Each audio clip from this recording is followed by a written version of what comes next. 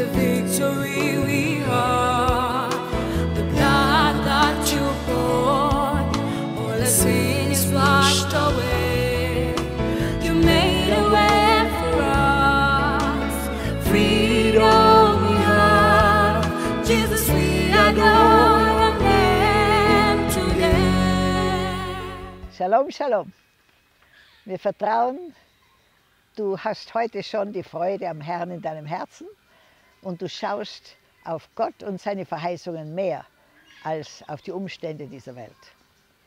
Ja, ich möchte jetzt noch weitermachen mit unserem verrückten Gott, der Dinge tut, die einfach menschlich, logisch nicht erklärbar sind und uns dadurch ganz schön herausfordert. Äh, Da möchte ich sprechen über den Abraham. Im 1. Mose 17, 17, 15, da lesen wir, und Gott sprach zu Abraham, deine Frau Sarai sollst du nicht mehr Sarai nennen, sondern Sarah soll ihr Name sein. Und ich werde sie segnen und auch von ihr gebe ich dir einen Sohn. Und ich werde sie segnen und sie wird zu Nationen werden.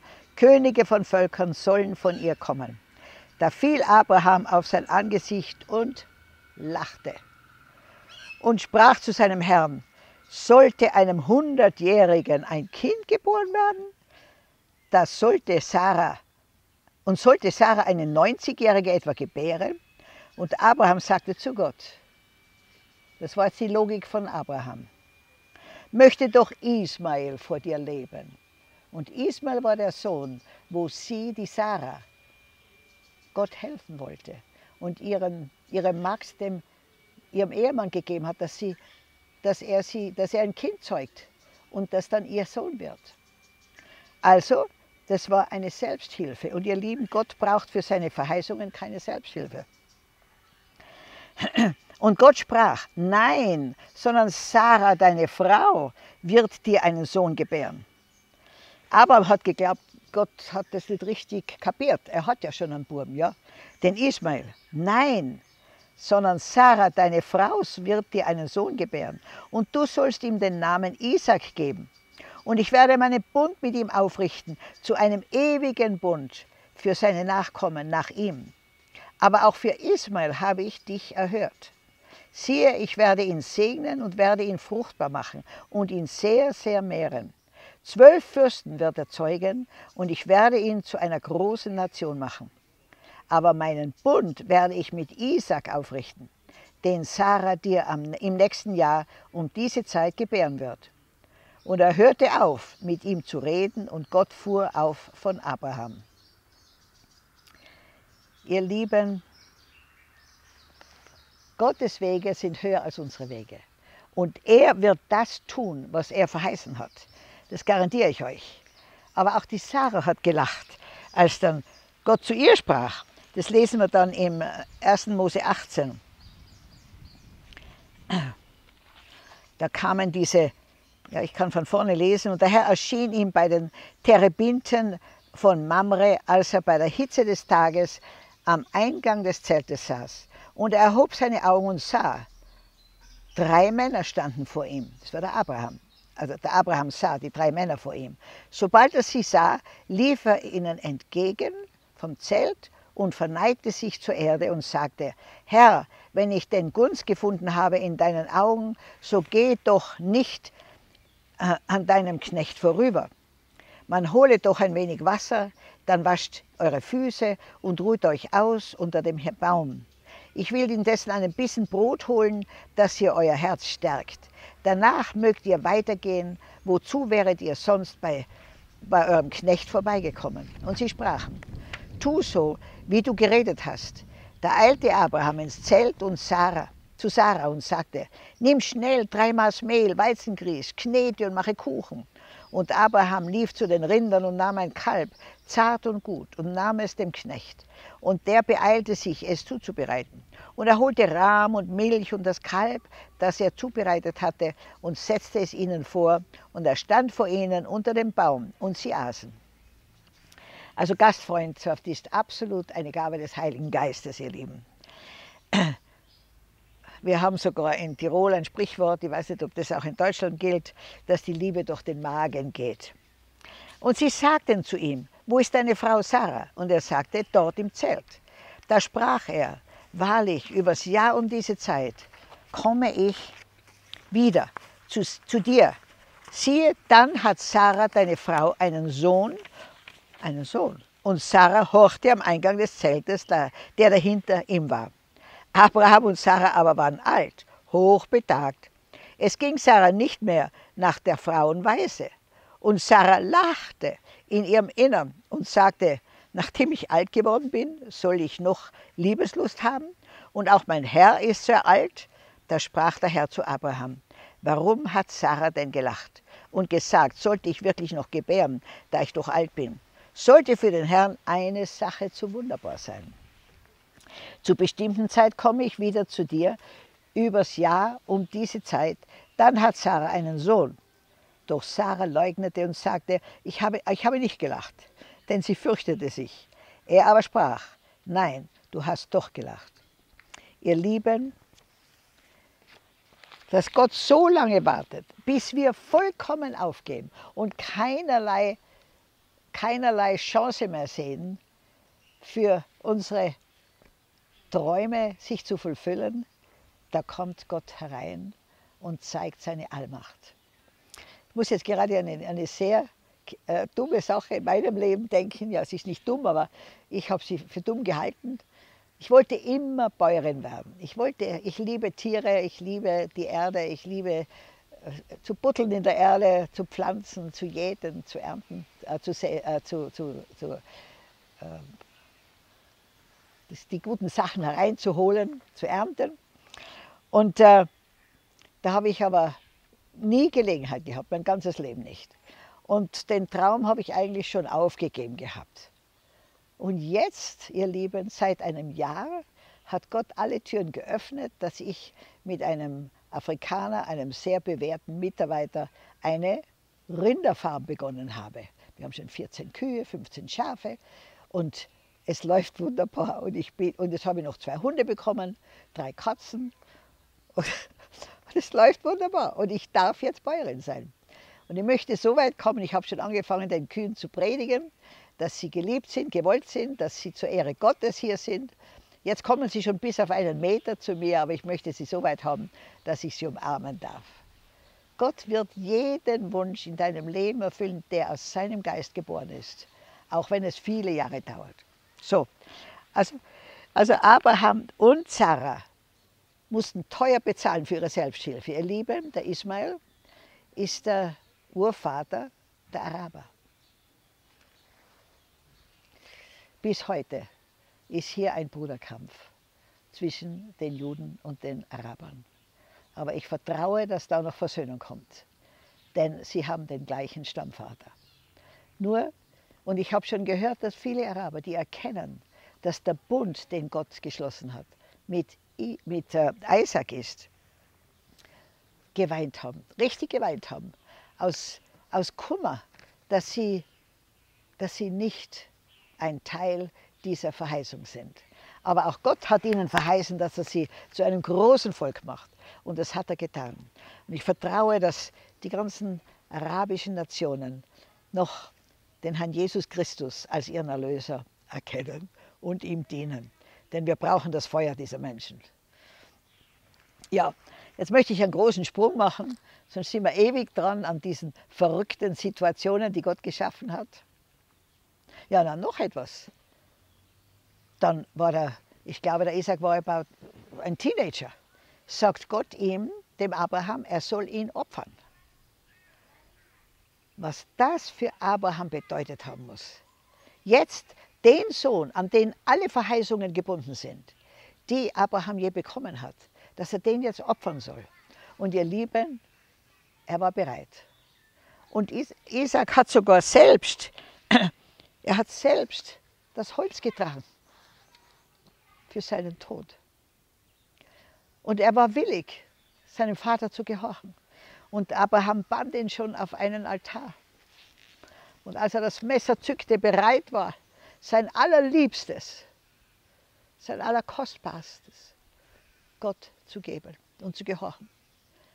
Hat Gott erkannt, dass Abraham nichts zurückhält, auch nicht das Allerwichtigste, das Allerwertvollste. Und er hat ihn gestoppt. Und das Lamm war bereits vorbereitet, das Opferlamm, im Dickicht. Ja, ihr Lieben, Gott wird uns prüfen. Gott wird unser Leben prüfen. Was ist dir wichtiger? Was liebst du mehr als mich? Wisst ihr, wir können unsere Ehepartner gleich lieben wie Jesus, aber nicht mehr. Unsere Kinder. Und zu wissen, dass Gott sie mehr liebt, als wir sie lieben können. Es ist immer eine Frage der Priorität.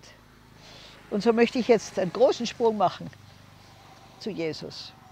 Und da möchte ich gern in Matthäus Evangelium mit für euch lesen. Wisst ihr, es ist, es ist unwahrscheinlich, wenn man das jetzt von Gottes Warte aus sieht und vom, von der menschlichen Logik her. Wisst ihr, der König aller Könige wurde geboren, wo? In einem Stall. Aber schon wie die ganze Vorgeschichte war. Da lesen wir in Matthäus 1,18.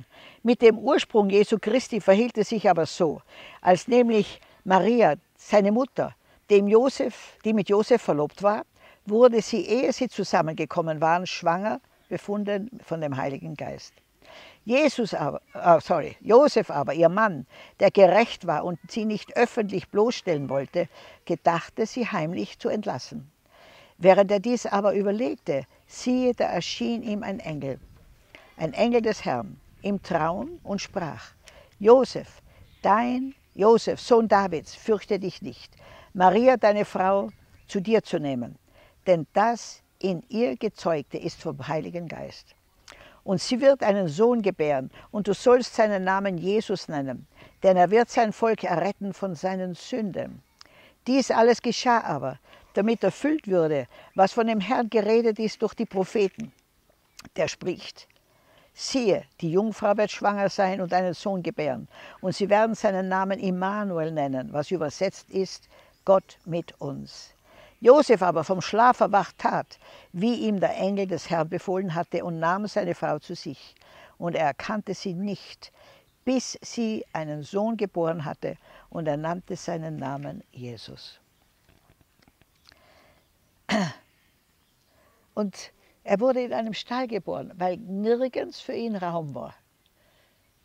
Ihr Lieben, Gott wollte nie seinen Sohn in Gebäuden verbannt sehen, sondern in menschlichen Herzen. Und mir hat der Herr mal gesagt, in jedes Herz, das er kommt, ist genauso wie ein Stall. Da gibt es viel aufzuräumen, da stinkt vieles.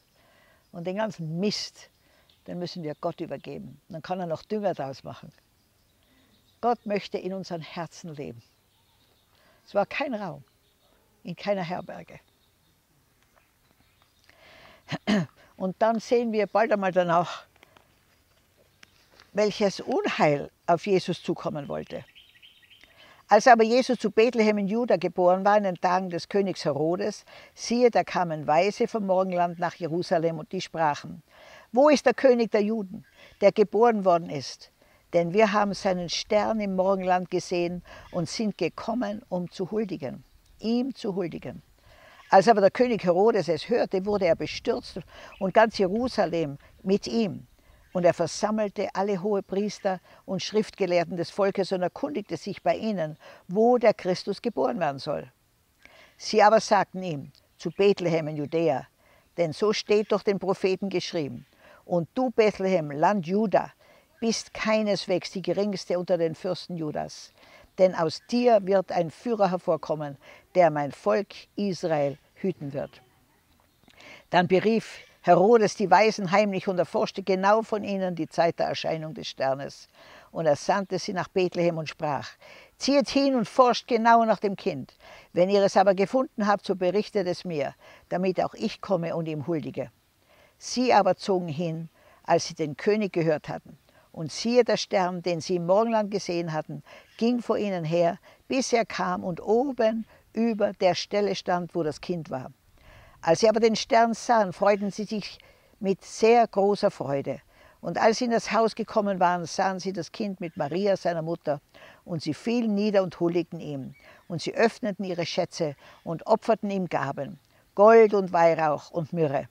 Und als sie im Traum eine göttliche Weisung empfangen hatten, nicht wieder zu Herodes zurückzukehren, zogen sie auf einem anderen Weg hin in ihr Land.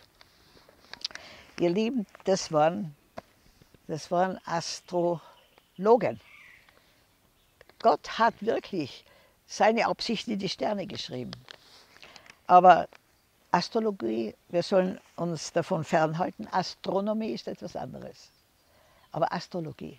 Und immer, wir, wir bekommen da Informationen. Aber es ist mit viel Leid verbunden. Das sehen wir hier. Mit Problemen. So, wende dich ans Wort Gottes. Bitte den Herrn, er soll dir weissagen, was deine Zukunft bringen wird.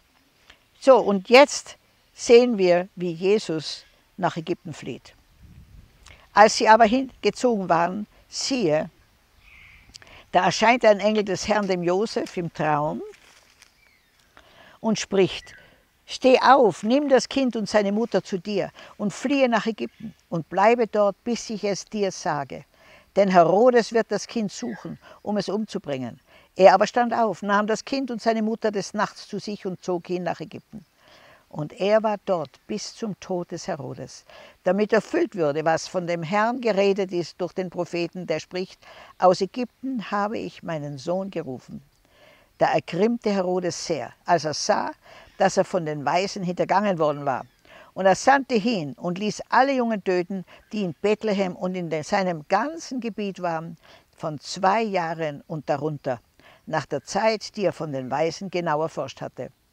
Da wurde erfüllt, was durch den Propheten Jeremia geredet sei, ist. Der spricht, eine Stimme ist in Rama gehört worden, Weinen und viel Wehklagen. Rahel beweint ihre Kinder und sie wollte sich nicht trösten lassen, weil sie nicht mehr sind. Ja, ich möchte jetzt nur etwas hinzufügen über Afrika. Wisst ihr, ich lebe in Afrika und Afrika mir, liegt mir sehr am Herzen. Und so viele negative Botschaften kommen zu uns über, über Afrika. Aber ich garantiere euch, nichts wird in Afrika sich erfüllen von diesen ganzen negativen Botschaften, außer Gott hat es im Himmel beschlossen. Ihr müsst euch erinnern, in Afrika hat sich Abraham sehr bereichert. In Ägypten. Der Isaac hat Afrika besucht und wurde sehr gesegnet. In Afrika wurde Jakob extrem gesegnet, als die Erde mit Hungersnot äh, gestraft wurde. In Afrika war Josef die rechte Hand des Pharao und hat enormen Einfluss bekommen und mit seiner Weisheit viele überrascht. Es war in Afrika, dass die zwölf Söhne des Jakobs überlebt haben, die große, die große Hungersnot. Es war in Afrika, dass Mose geboren wurde und er ein ganz großer äh, Führer wurde, der das Volk aus der, aus der Sklaverei befreit hat. Es war in Afrika, dass die Israelis, die, die Kinder Israels mit ganz vielem Reichtum, mit Gold, mit Silber, mit Edelsteinen beschenkt wurden, mit dem sie dann den Tabernakel gebaut haben. Es war in Afrika, dass unser wunderbarer Herr Jesus Christus Zuflucht gefunden hat und vor dem geplanten Tod durch Herodes bewahrt wurde. Es war der einzige Kontinent, in dem er Schutz gefunden hat. Und es war in Afrika ein Afrikaner, der Jesus geholfen hat, das Kreuz zu tragen. Simon von Cyrene. Die Afrikaner, Afrika hat das Kreuz berührt. Und wir glauben, dass die Erlösung, die durch das Kreuz gekommen ist, noch ganz reiche Frucht in Afrika bringen wird.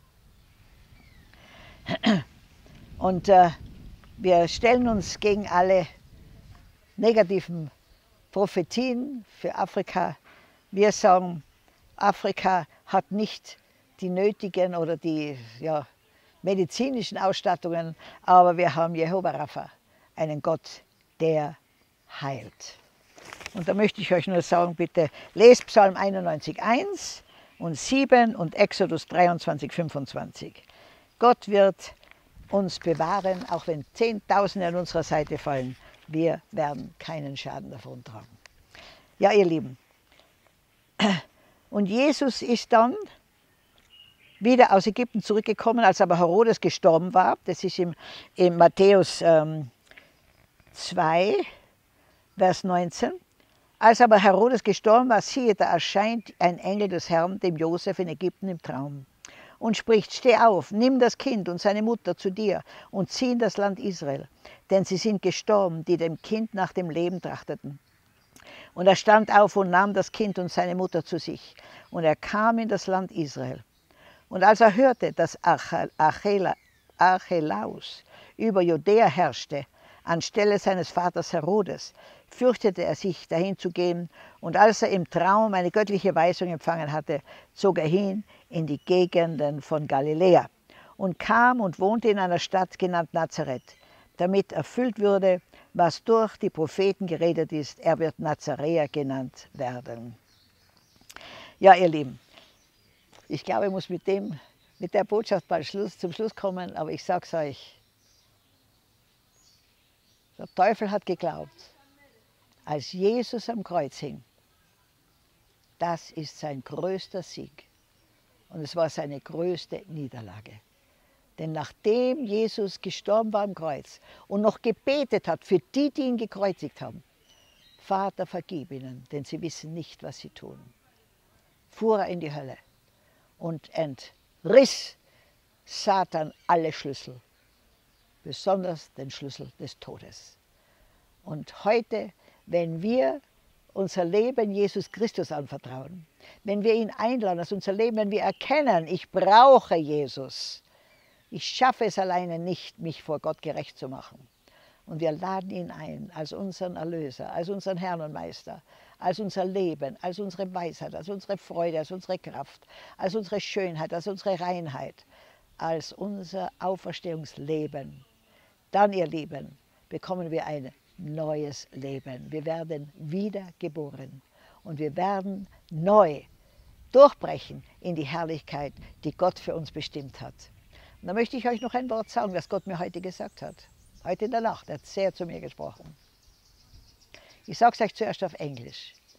If you miss heaven, I guarantee you, hell is waiting for you.